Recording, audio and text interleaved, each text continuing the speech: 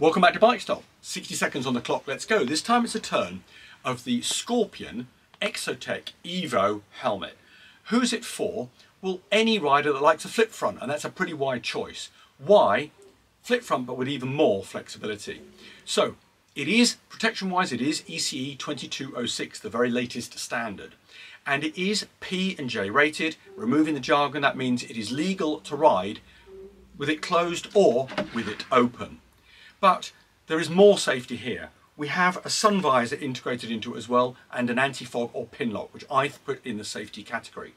Comfort, well, it is a carbon shell, which is actually around 200 grams lighter than your average shell.